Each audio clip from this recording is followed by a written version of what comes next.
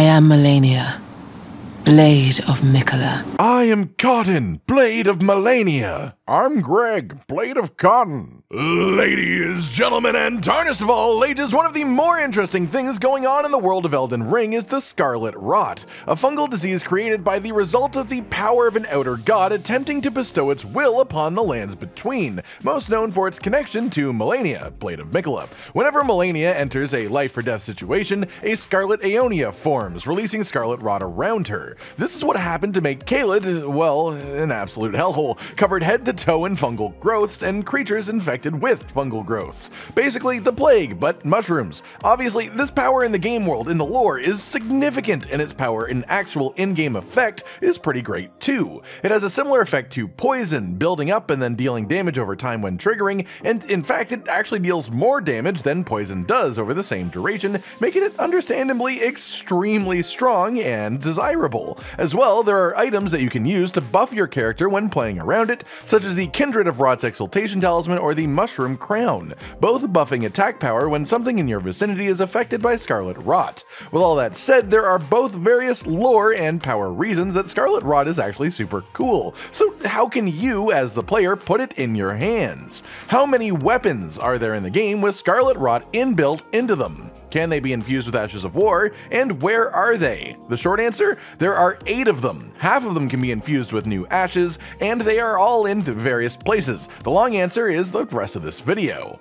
First up then, in order of when you can access them in your playthrough, will likely be the Antspur Rapier. This thrusting sword made from the spur of an ant, which for some reason in Elden Ring all seem to be carriers of Scarlet Rot, making me think that the ants and the Scarlet Rot God may be a bit more related than my imagination would like.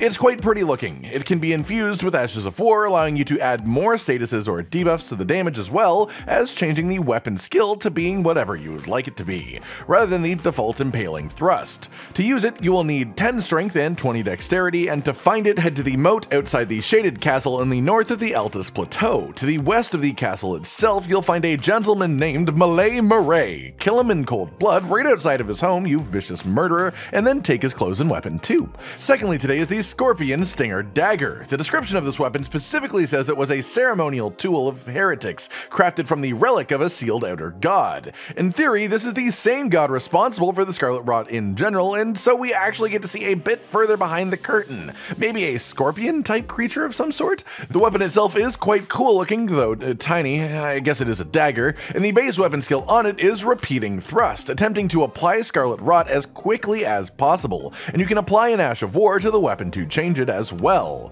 To use it, you need 6 strength and 12 dexterity, and to get one of your own, get to the Lake of Rot region, which can be done through Ranni's quest line, link in the description if you want guidance with that, but once you are there, get to the Grand Cloister Site of Grace And from there safely drop down to the ground level of the area and progress to the massive structure in the west with all of the prawns in front of it. Getting in here can be a little bit hairy, but once you are inside, open the chest to find this weapon. Anyone else worried about the fact that the ceremonial dagger of an outer god is being worshipped by prawns? No?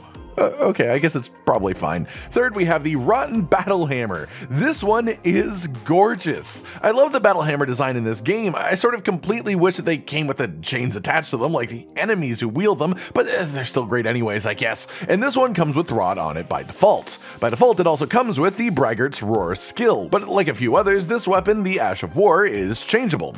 To use it for yourself, you'll need 26 strength and 8 dexterity, and to acquire one for yourself, you must reach the consecrated snow snowfields region of the game. From the eponymous site of Grace, head a short distance northwest and you'll find yourself a small graveyard. In here is a rotten duelist enemy wielding this weapon. Defeat him and you'll get the hammer as well as his sweet helmet.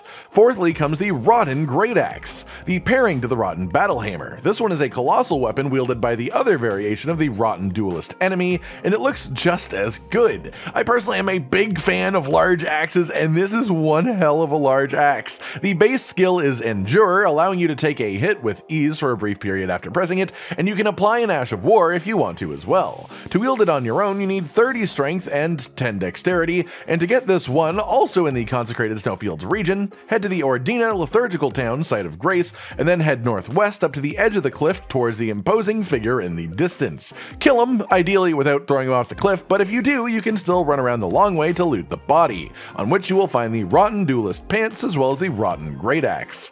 Fifth up, we have another colossal weapon, the Rotten Staff. Not to be confused with a casting staff, this is a whacking staff, used by the Rotten Erdtree avatars to beat the crap out of you while inflicting Scarlet Rot. The weapon skill it comes with is Erdtree Slam, the big holy version of the ground slam skill, which is hilarious and lovely, but uh, sadly, though this weapon is the Rotten Staff, it is not the Rotten Erdtree version of this attack. I say as if it wouldn't be broken as hell to have your weapon skill create a gigantic cloud of repeatedly damaged ticking Scarlet Rot Mist. Anyways, to wield it, you need 34 strength and 8 dexterity. And to get your own, first head into the Haligtree Mega Dungeon itself. Then from the Prayer Room site of Grace, head out until you reach the second beam on your right. Jump onto it to cross to the big pillar, then jump down from there to the outer wall and you'll see an Erdtree boss patrolling.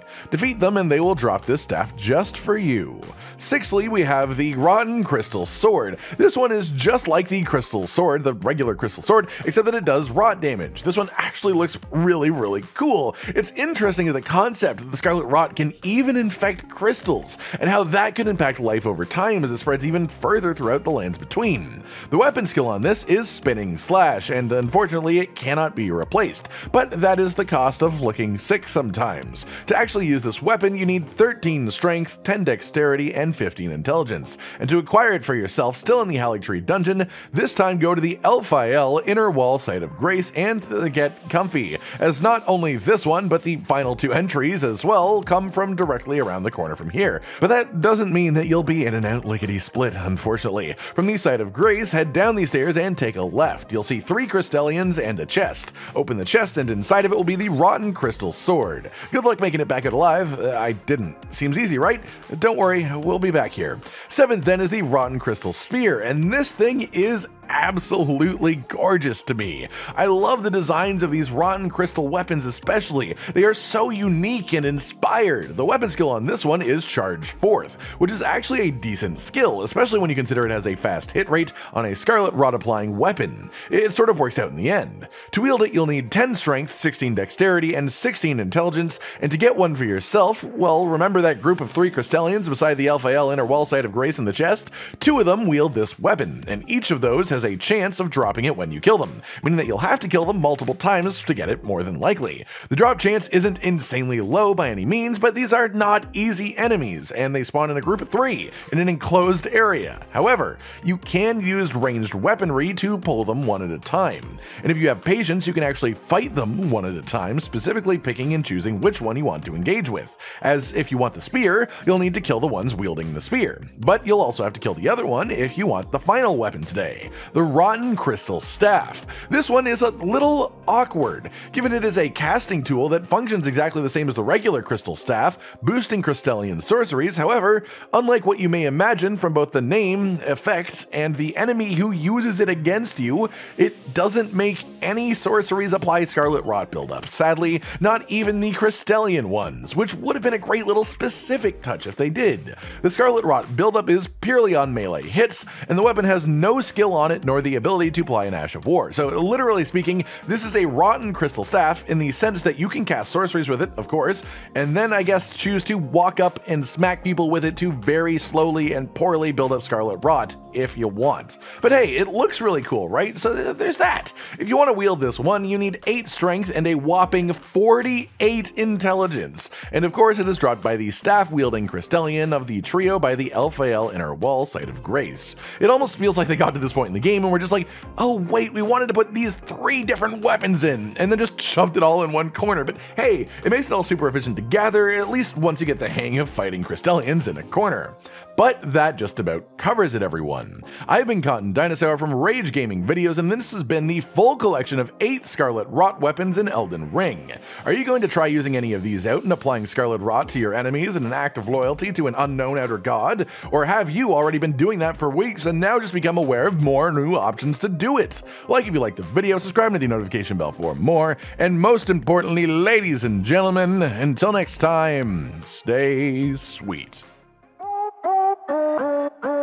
Josh, Cotton, and Hollow with the videos, dropping the humor like a hammer on your tippy toes, bringing entertainment on a daily arrangement to take our insanity and turn it into entertainment. Yes, I said entertainment twice to reiterate that it is nice to look into your faces on a mostly daily basis when you let us in your homes to make the whole world a stage. Is uh goodbye.